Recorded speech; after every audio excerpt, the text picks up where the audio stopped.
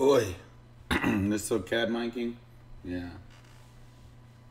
I'm CAD miking. Alright. What's up, y'all? FBN Nation. I am. uh, so, decisions, decisions, decisions. Decisions have been made. And I have conquered myself, my own arrogance, and my own ego. Because, unfortunately, I have to bring you some sad news. The Lamborghini is going to have to wait. Mm, I know you see one right now, but unfortunately, talk with my mentors, my financial advisors. God dang it, they are smart.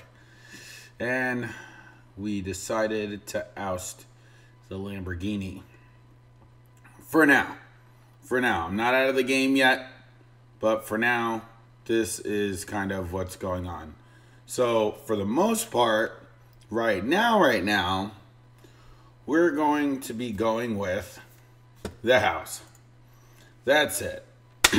That's it. Already, I, I've I've been in the real estate talks long enough from Tampa to Texas to everything. All right, couple things of why I'd arrived at that decision. At that decision, is because the amount of return that I'm going to get, possibly if I rent out my current house. Obviously, cars are depreciating asset. I want to be smart. I'm turning 30 in 11 days. Okay, what are we doing? But as a 29 year old, making the money that I finally am able to make, what the hell am I doing? So, right now I live in a townhouse. It's a three, three and a half. And I was like, okay, that's kind of cool but I needed a I needed a house uh, with a yard for my dog. So we decided on getting the house. Elevation N, as you can see um, right here, um, it's going to look a lot different than this because it's going to be left garage facing. Um, couple of the upgrades just to kind of like give you guys an idea of what we did on the floor plan. Oh, it's a lot. It's a lot. I, I, I thought that I was going to find a house that I really wanted that was already built, that, you know, had different styling. Um, you know, what you want to work with is lot, location, and layout. And then obviously things that I could change is color, cleanliness, and condition. So what is going to cost me the least amount of money in the long run to make it what I want to make it, and then, I mean, what are, what are the options and what what what does it come with? What, what's the lot layout and location? Do I like where it's at? Do I like the layout of the house? Does it facilitate my needs? Sorry, I'm just really excited that I got the damn house. Kind of. So, bringing it back uh, it's been a long road from the time that my Audi R8 went away to getting back into getting a supercar. And I am very remiss that I'm not getting back into that supercar lifestyle. Um, I found an LP 560-2 Gallardo in um, Motor Cars of Atlanta. It was the right price, something that I really wanted. It wasn't this car specifically. This is at a Cars and Coffee. Um, but I really wanted that car. And I was, you know, taking, you know, inquiring about loans, getting interest rates, all this other stuff. And that kind of fell to the wayside when I was like, all right, well, where do I want to be and do I still want to live here? Then that opened up the can of worms with, you know, throw a dart on the mat and see where we're at. And unfortunately, like, with my job and going to a different location, a lot of things matter. Just like, you know, lot location and layout, it's, you know, where do I want to live? What are the weather conditions? And what is that city going to offer me? So I've been to Texas, Boston, North Carolina, um, all of which I've loved to their unique own effect. But unfortunately, none of those moves are going to happen because some of those moves require a substantial loss in um, salary due to taxes, um, other things that were kind of banking on, that I was banking on not really being a problem, but they ended up as I thought about it, like my job is primarily remote, but I'm very East Coast centric. So the farther west I go, the more I have to deal with the time difference. So then if I'm working a nine to five, then it becomes like a six to five, six to three, whatever the case may be. It would have been a lot, even though, you know, once I got off of work, you know, it's what you kind of have to sacrifice to be able to make that sort of a move. And I didn't think that was going to behoove me right away. This is going to be my first shot at uh, actually being a real estate tycoon, I guess, if it were, or managing a rental property. Um, because it's small. It's small. Um, but I wanted to kind of be close by if I was going to be managing a rental property um, for my first time because buying a house for my first time, I had to get, you know, in the cadence of how this whole thing was going to go. And this is, it's really weird because I kind of bought my house mm, after somebody had already made a lot of the design options for me. Um, didn't really get the ground up feeling. I mean, I got a little bit of it because I got to customize flooring, cabinets, stuff like that. But it wasn't like the full thing, right? So essentially, this is my first time at building the house from the ground up. Not a townhome, a home home. So there was just a lot, a lot to deliberate, a lot to go back and forth. Um, I'm not sure how long I plan on staying in this new home, but at least for the next maybe year or two years, it does leverage some ability to have a positive investment in my future. And then at some point, I can sell both houses and then move somewhere and get a $600,000 house, which was also almost on the table. But then it came down to other things that I was thinking about buying that probably shouldn't be aren't the greatest idea, but they are lovely, sparkly, and shiny. But unfortunately, this also too has to wait for this whole house transaction because I'm turning 30 years old and I wanted something nice and elegant and a milestone piece that I can look back on and said, when I was 30, I bought X, Y, and Z. So at this point, the X, Y, and Z right now is unfortunately the house. I mean, fortunately, but unfortunately, you know what I mean? Like, I really like shiny things. I really like expensive, fast cars, but I had to be real and to be able to build up a certain wealth to myself and net worth that I can, that's manageable. And then later on, the car doesn't seem as bad when I have both mortgages possibly paying for my car payment and driving a Lamborghini around. But Oh, so as far as like upgrades went, um, we went with a fully extended covered lanai. I was very uh, apprehensive about doing a three car garage because I don't really garage a lot, I guess. Like, I used to work on cars and kind of ish in my spare time with friends that were mechanics that helped me, but I just didn't see the use that I would get out of a garage other than turning half of it into a gym, but gyms are so close by nowadays, and I really like working out um, at you know a mainstream gym, just personal preference. So we went with the full extended covered lanai. I was thinking about getting the small one, but after seeing renders, um, I'm on a 60 by 60 lot. I think it's 60 foot by 60 feet, um, which is one of the biggest ones in the neighborhood. We also have a small lake in the back. It's almost just like a strip of water. I wouldn't really call it a lake but it just seems like there's a hole in the ground, and if it rains good enough, then the water level may rise and it might be a full functioning lake. So it's a retention pond. But apparently that raises up the real estate value, as does the extended lanai, adding square footage onto the house. There's going to be tile all the way through here. Um, the kitchen dinette set. We were thinking about getting this morning room. And I went back and forth with my mentors on this a lot um, about adding square footage to the house and then also getting a covered lanai, but both of these things were really expensive to do all at the same, all in one go.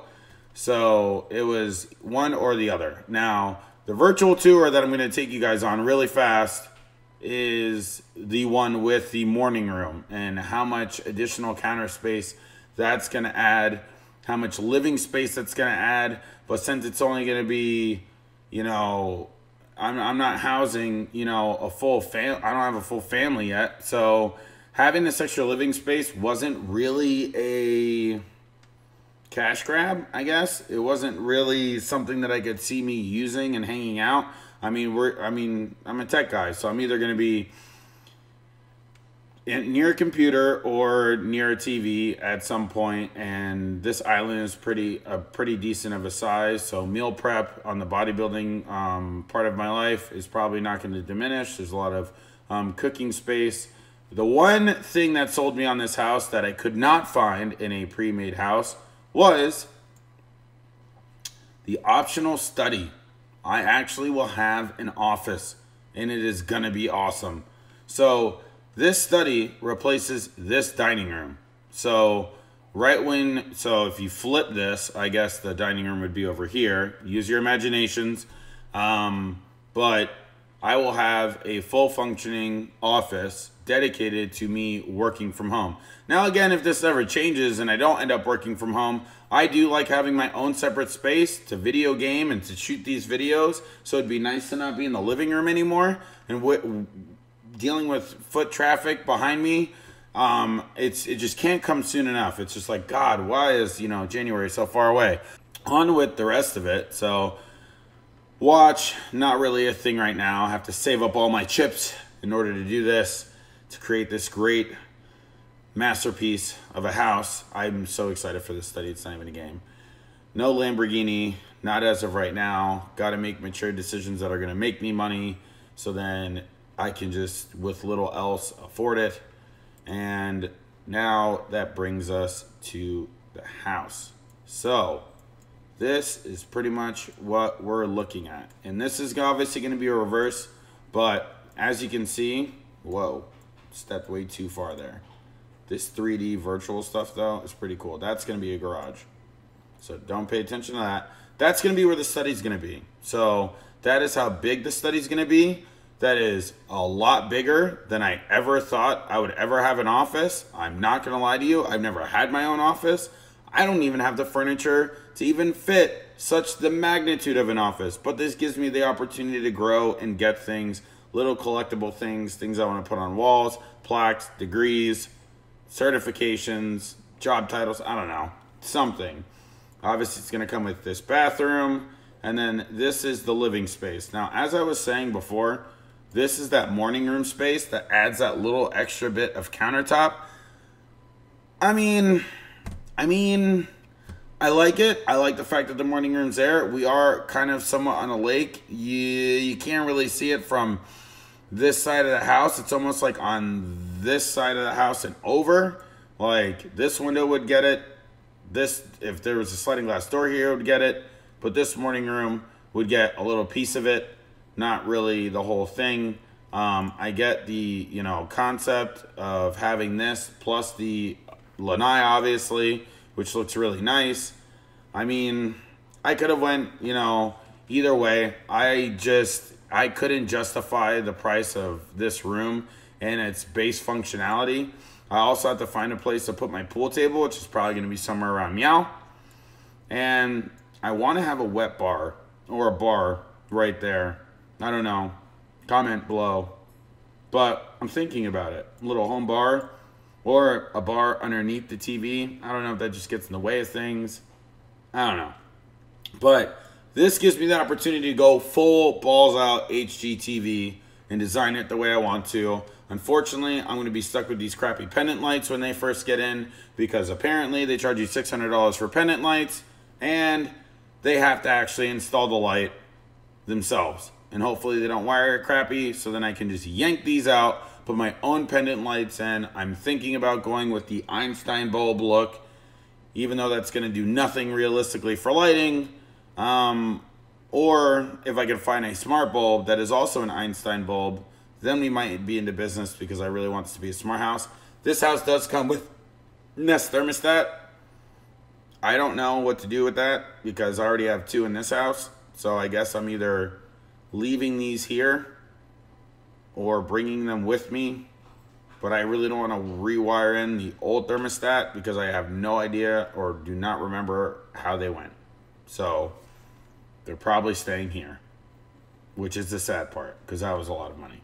But I got the best use out of them as I can as far as managing the AC in my house. So still, smart house dreams. So my pantry, instead of this little hallway back here, as you can see where my mouse is, my pantry is going to be a lot bigger because the fact that this is going to be a study. So then the pantry is going to be like this whole wall, which is going to be pretty dope. And I definitely wanted to upgrade this railing with the open banister. I just love the spindles and it just looks really nice. Um, not I really wanted this flooring, but unfortunately, they said that, you know, out of stock or whatever the case may be, because the faux wood with the giant size kind of uh, rectangle tiles are kind of nice. And then, you know, go upstairs. This is the view that I really, really like looking at. This is kind of what really sold me on the house was when I walked downstairs from the master bedroom, what am I going to be able to look at? Obviously, that morning room's not going to be there. And if this program would work any better, it'd be amazing. But the morning room's not going to be there. That's going to be all wall. Um, and so sliding glass door right here. So I guess I don't really have that much openness in the space. We did end up going to somebody else's house and uh, kind of seeing their setup. They also didn't have the morning room, so that was pretty dope. But I mean, ladies are gonna love this. What I'm about to show you. This is the master bedroom. Uh, the house is obviously reversed, so you'd have to come up the stairs obviously a different way. We actually opted in for real quick before I show you the pièce de résistance. That window that was an expensive window. Just to have a window above the stairs. Really wanted to think about lighting um, as it pertained to coming into the house. Um, our house faces uh, east to west, so sunrise sets in the front of the house, and then we get the sunset in the back of the house over the lake. Big selling point. You know, anything to give me a lot of money on my return when I either rent this out and or sell it in the future. But that is a California king size bed. There's a lot of space here. Since I got the full extended lanai, I still will not have this window. So this is pretty much exactly how it's going to look. Essentially, not with all these, I don't know, bird watching stuff. I'm not really a bird watcher. Okay. So the good part, there's two, there's a good and a bad. Bathroom. Love the bathroom. Okay. I have issues. All right. I do not like walking through the bathroom to get to the closet. I don't know why builders started doing this. I don't really see it as functional. I get if you're going from brushing your teeth, if everything was in the closet, you went to go get dressed, and then you walked out, so then you wouldn't have to brush your teeth, go outside to a dresser of some sort, grab a certain article, and have to walk all the way through back through the bathroom and into the closet. But if you're sharing the space with somebody, somebody's using the bathroom, now there's this whole like, you know what I mean. It's just, you know, where's the potty? I think the potty is, yeah, potty's right there. So that's the potty. That is the shower. Um, two positive things. That is a bench. I've never had a shower, a glass shower with a bench. I really want to do away with this linen cabinet, extend the shower, except unfortunately that's probably going to be a lot of money because they would have to move this wall as long as it's not a supporting structure of the ceiling, move this wall back and increase the tub and increase the amount of tile it's going to take to tile in and obviously increase the bench size. So most likely most likely I will not be able to increase the size. What I also wanted to do was have a rain shower head. So somewhere along in this plan, if they can move that light a skosh over so it's not directly above or maybe offset it, I don't know. Water in your electronics, probably not. There's probably a code violation in there somewhere. And or if I could get another shower head on this side of the wall just so I could come from multiple directions so I could feel that feel like a billionaire. You know what I mean? And the closet is about the size of a room.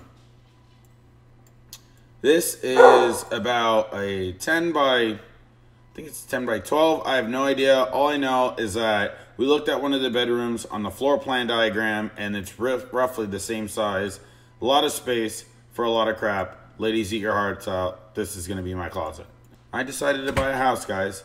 So I am now worth over a half a million dollars comparatively with both houses together cumulatively growing my net my net worth um, and we're gonna see how this is gonna go. It's gonna be a different chapter even though I know I'm still living in Florida and Orlando as a whole but hopefully this will uh, shed some light and give me some e easement of um, work and I don't know we'll see but until I find out where I wholeheartedly want to live, like, man, I really want to live in this place, this is going to be the option. Just keep buying and renting out houses until eventually the next couple houses that I buy just won't even have a mortgage. It'll just be mortgages paying for mortgages, and then I'll be able to retire early. So that's my plan. FBN Nation,